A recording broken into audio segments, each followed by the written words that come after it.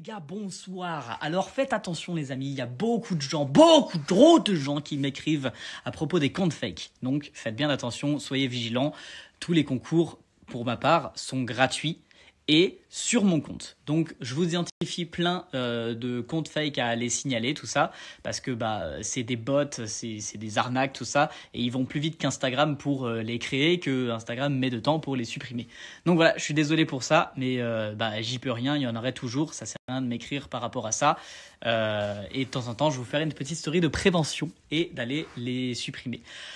Sinon, pour participer au concours, ça se passera toujours sur mon profil.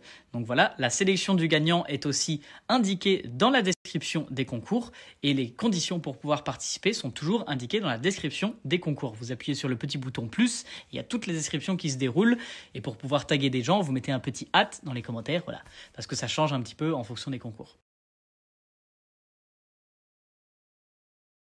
Bah, on vient de me faire remarquer encore un compte fake, donc voilà, je vous le partage pour aller signaler. Et un petit message aussi aux petits malins qui m'enverraient des messages en me disant genre ouais, euh, tu peux me tirer au sort s'il te plaît? Le principe d'un concours, c'est que je ne choisis pas le gagnant, histoire de faire play quoi.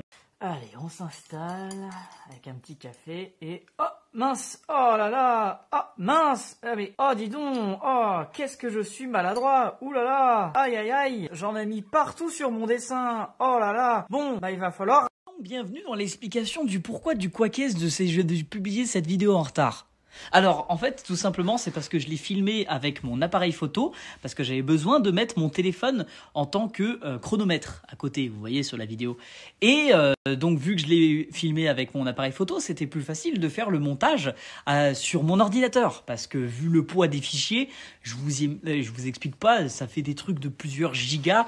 mon téléphone, il sera en mode, hé, eh, eh, s'il te plaît, attends. Hein. Enfin bref, là n'est pas la question. Mais du coup, j'avais fait le montage sur mon ordinateur et je devais la transférer sur mon téléphone pour pouvoir la poster. Parce que euh, je ne poste pas euh, depuis mon ordinateur sur TikTok.